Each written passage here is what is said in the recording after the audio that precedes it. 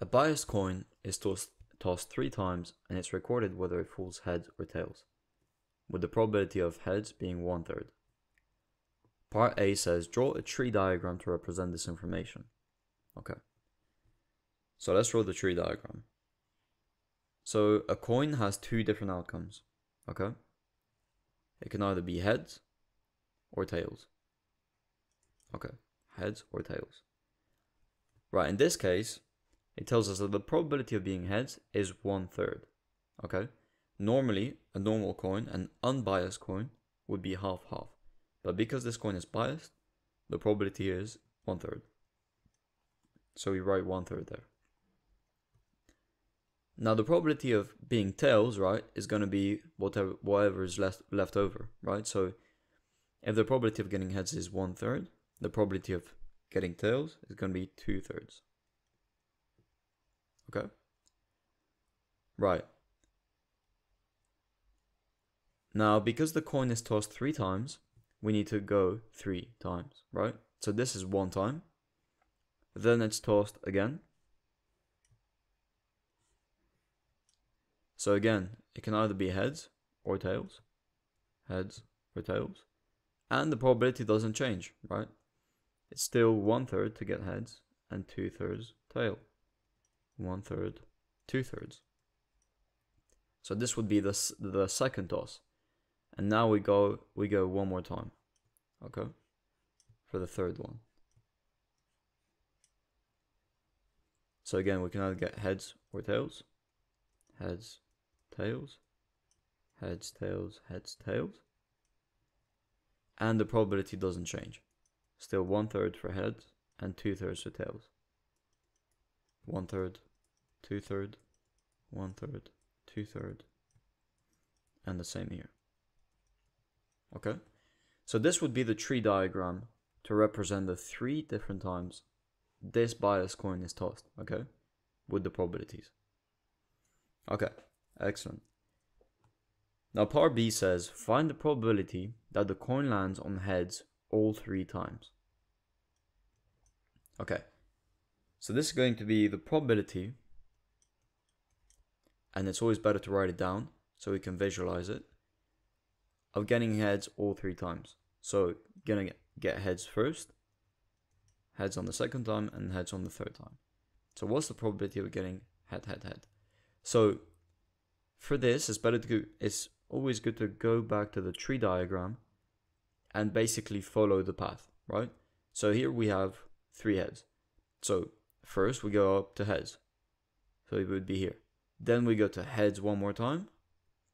And heads one more time. Okay? So we know it's along this path here. And we also have the probabilities for that. So we know that the probability of getting head three times is going to be one third times one third times one third. Okay? Which is equal to 1 over 27. So that's the probability of getting, uh, well, the probability that the coin lands on heads all three times. Okay, now what about part C? Part C says find the probability that the coin that the coin lands on heads only once. Okay, so let's see how many different outcomes there can be. So heads only once, right? So first we can go here. So we can get heads and then tail, tail. Okay, so we can get head and then tail, tail. So this would be one, one outcome. Now we need to go back, now we need to go down here, okay? Because once we've had head once, then we can only get more heads. So, then you can get tail, then head, and then tail, right? So you can get tails, head, tails. And finally, we can also get tails, tails, and head. Tail, tails, and head. So as you can see, there's three different outcomes where the coin can land on heads only once, okay? So then we need to find out the probabilities for each of these outcomes, okay? So getting heads and then tails, tails, from the tree, from the tree diagram we know is one third times 2 thirds times 2 thirds. Then getting tails, heads and tails is 2 thirds times 1 third times 2 thirds. And finally, tails, tails, heads is 2 thirds times 2 thirds times 1 third. Okay? Now, if you multiply all these different uh, probabilities and then you add all of the three up, you should get that the answer is equal to 4 over 9. Okay? So let me know down in the comments if you get this answer as well. Perfect. And let's see, part D says find the probability of obtaining either three, sorry, before that it says the whole experiment is repeated for a second trial. The whole experiment is repeated for a second trial. So it means that this tree diagram is repeated a second time, okay? Then it says find the probability of obtaining either three heads or three tails in both trials. Okay. So part D is basically saying what's the probability of obtaining three heads? So we can write this as so probability head head head or three tails. So plus the probability of getting three tails. But then it also says in both trials, okay? So it would simply be probability head three times plus probability tails three times if it were one trial. But because this is in both trials, so there's two of them, whatever probability we get is going to be squared, okay? So the probability of getting head, head, head we said on the first one was 1 over 27.